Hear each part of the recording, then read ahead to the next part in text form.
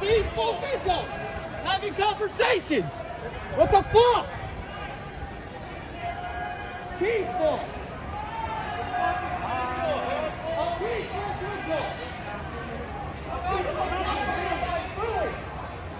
Really, you got to open the door to a fucking